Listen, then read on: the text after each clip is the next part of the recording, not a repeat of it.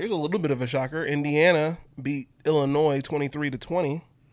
I think we both had Illinois winning. Yeah, man. So I'm hey, shout out to Coach Allen, man. This team showed some resolve in that game. Mm-hmm. He really did. I did not think. I don't know if I.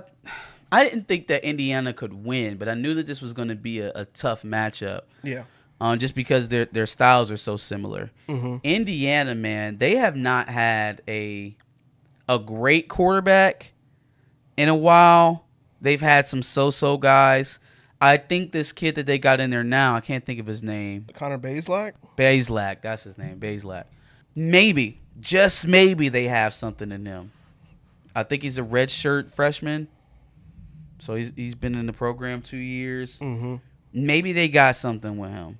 They've got to find a way to match that with obviously with the with the running game that that that they can depend on. Defense looked all right, I guess. You know, it wasn't a very high scoring game, so I don't know what to think of either one of those teams. But I'm just I'm I'm proud of uh of, of Tom Allen, man, because you lose that one, that that's because right now Bret Bielema is in that mode with his team right now. He's like, well, damn, we just lost to Indiana. Yeah, it's, That's it's not tough for them. one and one is not where we expected to be when the season started. So the rest of the Big Ten slate just seems that much bigger. Yeah. Now on the flip side with Tom Allen, that's a confidence builder that pushes them Mm-hmm. into the next game as opposed to having to get your guys back up to play. Yeah, yeah.